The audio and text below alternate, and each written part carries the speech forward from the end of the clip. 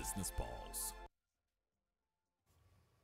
Huawei Technologies Uganda has launched a Huawei Cloud Startup Program, an initiative aimed at empowering SMEs to innovate and grow. Several captains of the industries have turned up at Sheraton Kampala Hotel to welcome this digital transformation idea. Huawei Technologies Uganda has launched the Huawei Cloud Startup Program, a pioneering initiative designed to empower SMEs to innovate and thrive. An initiative, they say, aims at empowering SMEs to innovate and grow.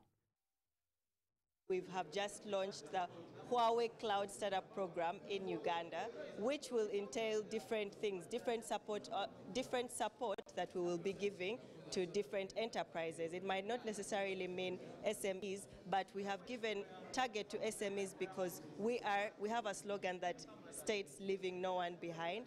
Here we will be able to give different cloud services or different cloud solutions that suit your business as an as a small medium enterprise so that you can grow in your business. CEO of Next Media Services, Kin Kariisa, outlined the benefits of cloud computing in managing computing costs, saying cloud computing has facilitated solutions like Afromobile Uganda's streaming services. All of us, in whatever we do, whether government or private sector, we can use uh, cloud computing to manage our cost of computing because there is no amount of servers we need to solve all your problems.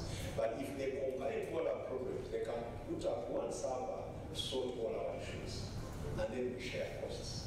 The third Deputy Prime Minister Rukia Nakadama called upon Huawei Technologies to ensure the program is simplified and localized to reach beyond the boundaries of the city to welcome Ugandans from all walks of life, including those in rural areas. I want to request Huawei, let us simplify this program. It should be simplified. It should be localized so that the people should know about it in our local way, the local language, in local messages, so that they can start using it. The Bank of Uganda does insist that uh, in